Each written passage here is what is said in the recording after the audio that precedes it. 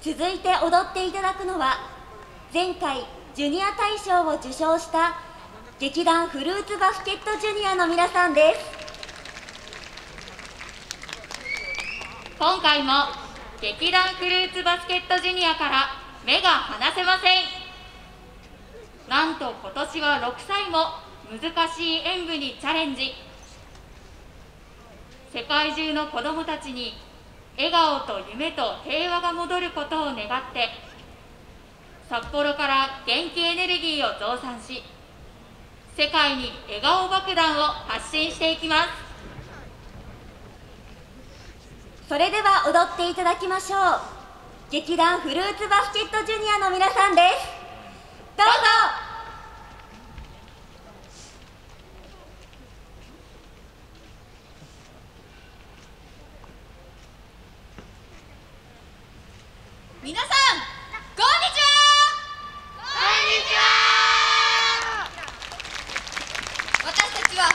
劇団フルーツ